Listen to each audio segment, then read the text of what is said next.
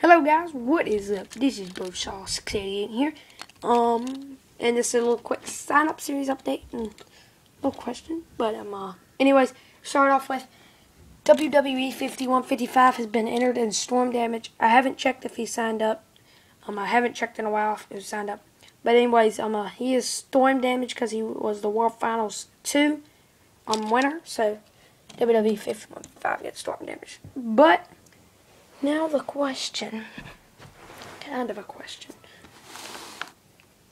There's going to be a twist on some series this time, because we're going to go out. We're going to start off with a bang.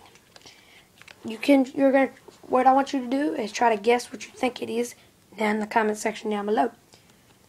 Your hint is, it is not always good to finish, to go far. It is always, it's not always good to go be the farthest.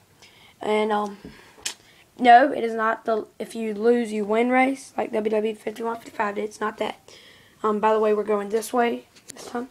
So, um changing it up. But anyways, so your hint once again is it's not always good to go the farthest. Thanks for watching guys. Peace out.